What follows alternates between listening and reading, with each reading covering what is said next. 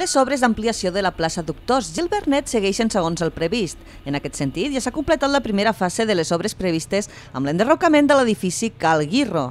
Actualment, l'empresa Construccions Jordi Riera ja es troba treballant en les instal·lacions que permetran el nou paviment de pedra natural per a tota la plaça. La primera fase, que potser és la més espectacular, doncs, que és l'enderroc pròpiament dit, doncs, pràcticament ja està enllestit i el que doncs, visualitza la gent, o visualitzem tots, és una mica és el gran espai que queda i l'amplitud la, de l'espai que esperem que aquest eren els objectius a aconseguir, a assolir.